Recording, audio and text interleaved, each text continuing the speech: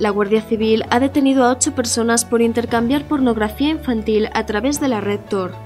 La operación ha culminado con el registro de ocho domicilios y con la identificación de ocho usuarios de pornografía infantil que posteriormente fueron detenidos o investigados por un supuesto delito de corrupción de menores. Además, se han intervenido ocho ordenadores, 20 discos duros externos y varios soportes ópticos. La red Tor es el medio más usado en entornos en los que los comunicantes quieren proteger su identidad y el contenido de sus comunicaciones, como en el caso de la pedofilia.